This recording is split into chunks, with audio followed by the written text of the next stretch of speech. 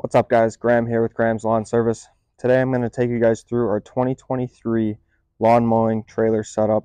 Uh, it's what we use every day to mow commercial properties as well as residential properties. I'm going to take you through all the mowers, trimmers, racks, show you the whole setup here. So hope you guys enjoy. Alright, we're going to start over here in the back. So back here is our Scag 48 V-Ride 2. We use this machine a lot of the times in front yards, normal size properties. It also fits through some gates. Um, this machine's been great for us. I think we have about 150 hours on it. Um, and so far everything's been great. Our second machine we run here is a 60 inch Scag.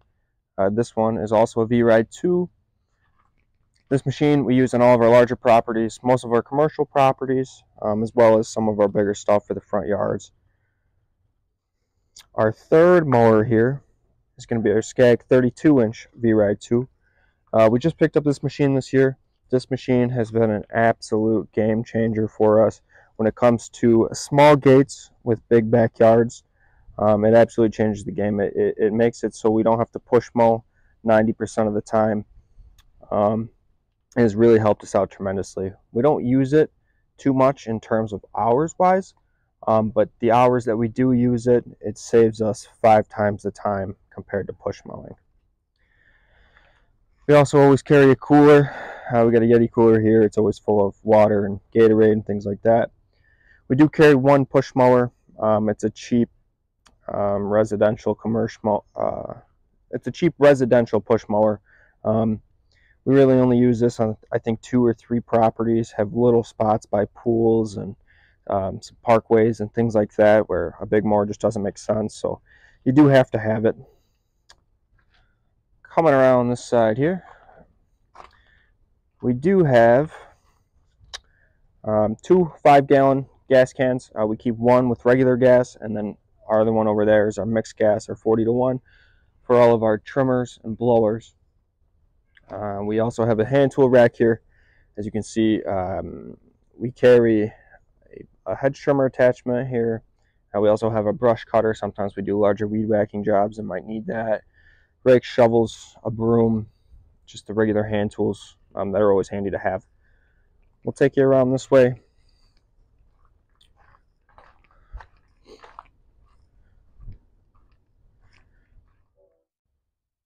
Alright guys, coming around to this side of the trailer, um, this is where we have all of our racks, all of our hand tools, blowers. Um, so in the back here we have a uh, Stihl BR800X. This machine, uh, this blower is great. Uh, works good for us. Normally starts on the first or second pull.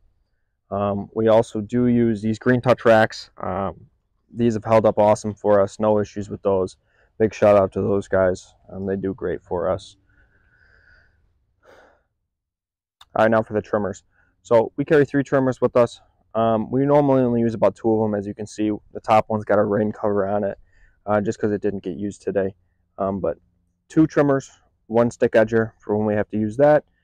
Um, and all of our weed whackers here are the uh, KM 131Rs, as you guys can see. So these are the combi system units. Um, they're awesome. So that way we can keep these set up as the weed whacker attachments. As you can see, like this, they just connect. Um, we have all the other attachments, so when we need to use them for other jobs, it works out great for us. Working our way down this way, we have a trimmer line spool so that's conveniently located right next to our trimmers. So they can always be filled up with uh, string and we don't have any issues there. So as for the trailer itself, it is a 20 foot um, flatbed trailer and it's got two gates. So we have the rear gate here and then we have the side gate over here and that side gate's huge because we have a 32 inch mower up there and that machine um, it only comes off on certain properties and it's easy to not be able to have to take off the other two mowers in some of our smaller residential areas and things like that. Um, we just take that one machine off. That's been a game changer for us, uh, having that side gate.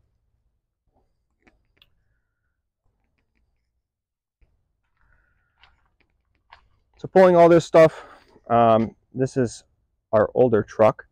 This is a 2005 F350 with the dump bed insert. Dump bed insert's been great. Um, we use that on a lot of landscape jobs and cleanups and things like that. Also going to use it for leaves in the fall.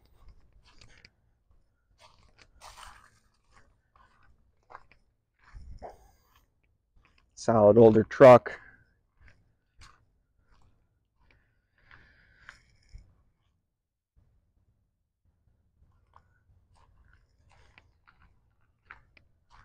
Yeah, that's about it for our 2023 um, commercial lawn care setup for a trailer. If you guys have any questions, please leave them down in the comments. Uh, please also like and subscribe if you like this video and you want to see more videos like this in the future.